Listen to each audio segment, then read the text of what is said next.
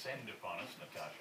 Uh, well, it's going to really depend on where you live and what your temperature is. hope we as stay this up system to- approaches. Yeah, So that's we've four different kinds of watches and warnings across uh, the region here, down through the southwest. You'll remember this from yesterday, the rainfall Go. warning up to 80 millimeters of Hon, rain by Friday your voice is gonna be on the the new internet. Watch yesterday for the city of Toronto, upgraded to the freezing rain warning and winter storm warnings as well here in dark purple.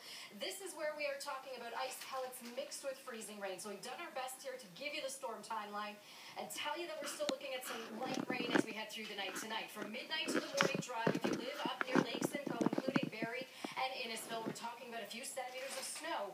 Rain Hey, Waterboxer, this is what I have to deal with this weekend. To run high. We're going to continue to see that issue setting up for us over the next couple of days as we could tack on another 50 millimeters of rain. This is out toward Fergus on the Grand River. You can already start to see those high waterways rolling through, starting to spill the banks. Any folks in those areas that are prone to flooding on rain events like this, make sure those basement sub pumps are on the go. Here's what our forecast models are indicating as far as rainfall projections could get into the upwards of 40 to 50 millimeters of rain.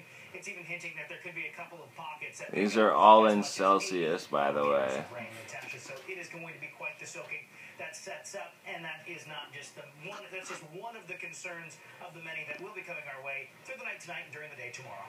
Yeah, absolutely. Now, you had a little problem with that graphic, little technical glitch. I'll show you what he was saying. That 83 of that 30 could be ice pellets that will be coming down. So, really is that mix that we're going to have to watch here. Some showers through this evening, two degrees to start off the day tomorrow, and we're not getting any warmer than that. When we hit zero is when we are expecting the greatest risk for freezing rain in the GTA. I think most of the day it's going to be rain mixed with ice pellets, but as we head toward tomorrow night, then we get into those icy conditions on surfaces, and of course, we'll have more details on this coming up.